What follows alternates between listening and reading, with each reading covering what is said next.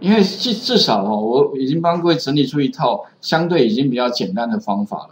OK，比你自己去坊间去买书籍来看，应该是简单简单非常多了。因为坊间书籍，即便你把它看完，你还是写不出来。那这一套东西我是蛮固定的，都是回圈，有没有？然后再加你要输出到哪个储存格。所以第一个哦，我们来大家 demo，第一输出公式到这边来，OK 哈，并且把小数点取到那个整数哦，OK 好，这个啊你会发现，如果执行这个按钮的话。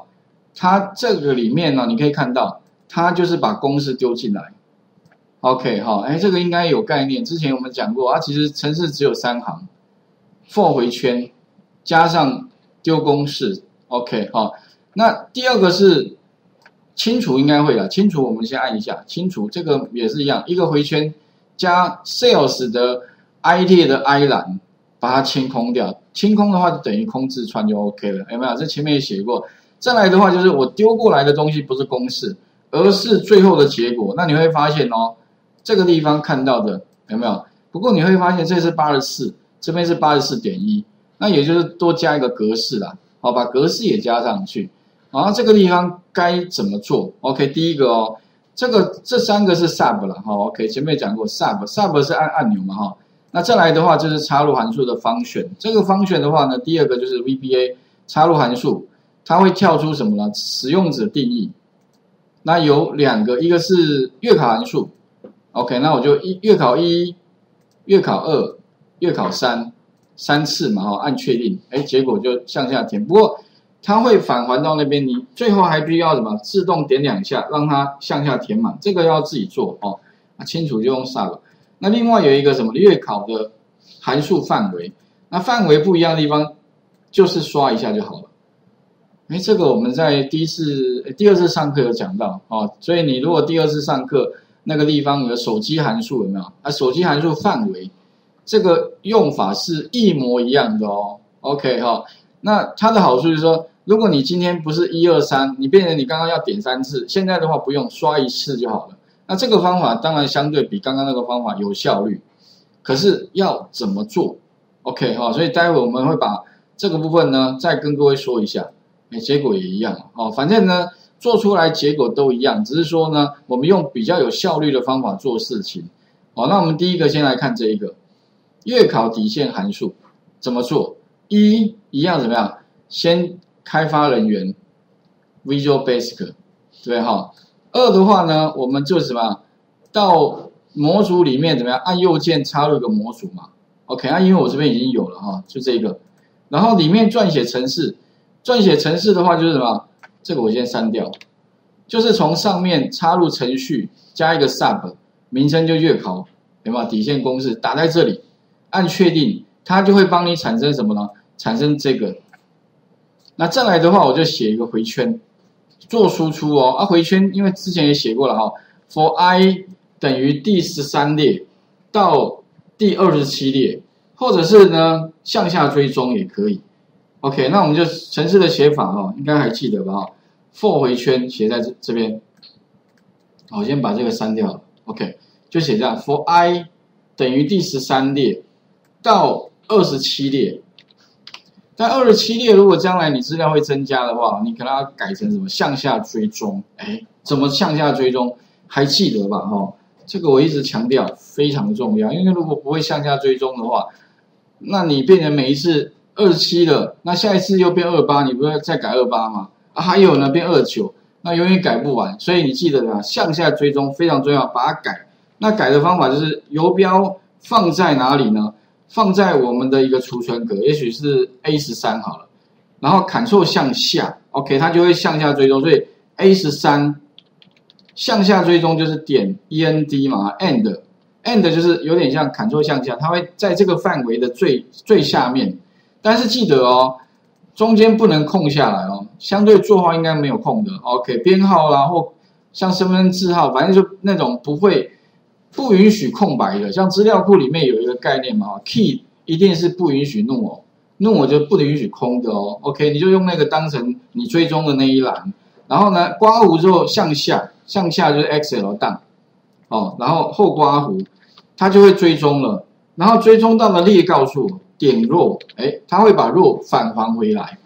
OK，所以前面这个点是向下追踪，有点像一个动作。后面这个点是把资料带回来，这个资料带回来是把那个它的列的位置，所以它会怎样？把它这个列的二十七怎么样？把它丢到这边来。OK，好啊，当然你其实也可以把这这一行，这一行其实有点像哈，把两行程式把它变成一行嘛，哦，你也可以分开写，但是我习惯上就是写成这样子，哦，这个是一种，这个应应该有印象啊，前面我们写蛮多的啊，再来做什么呢？再帮我把公式丢到储存格，哪一个储存格呢？哎，这个储存格。那这个储存格怎么称呼它呢？就是 sales，有个固定的用法，因为它的列会变，所以就打一个 i。i 的话是十三、十四，一直往下。那栏不会变，所以栏的话哪一栏呢？第 i 栏，有没有？那因为它这个栏哦是英文字，所以我们后面固定用这种方法。OK，然后后刮弧一下，等于什么呢？等于一串文字，先把双引号打。上去，然后把什么？把那个公式贴到这边来。好啊，贴的话还记得吧？啊，就是把这个怎么样复制一下，然后可是因因为里面没有双引号，所以不用贴记事本。OK，有没有？如果你有看到里面有很多双引号，你就贴记啊。如果一个都没有，那你就不用做这个动作了。但是你可能要做第二个动作，就是你什么呢？你这个地方哈。往下去去看一下，哎，有没有哪一个会变动？有没有发现十三变十四，十四十五有没有？那又就是说这个地方要改成 i 了，哦，所以呢，你直接怎么把它贴过来？这个应该慢慢就熟练了，哦，然后呢就把这边改成 i。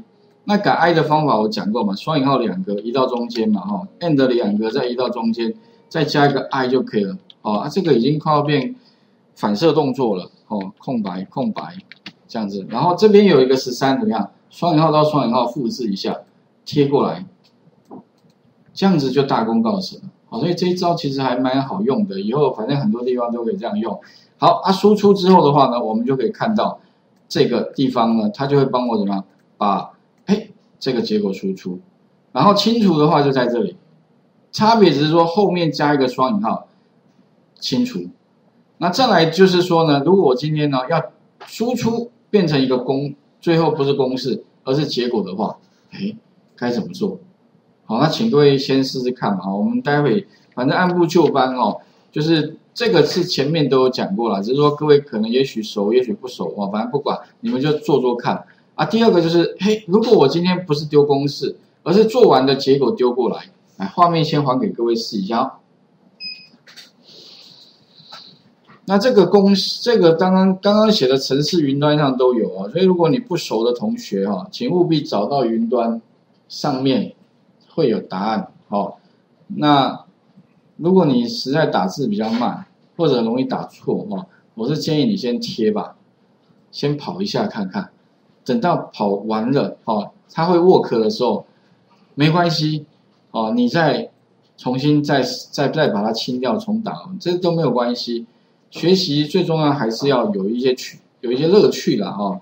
那先尽量少一点挫折感，哦，多一点那种，诶比较愉快的经验的话啊，至少对各位学习那个 VBA 哈是有帮助的，哦，那都是好方法。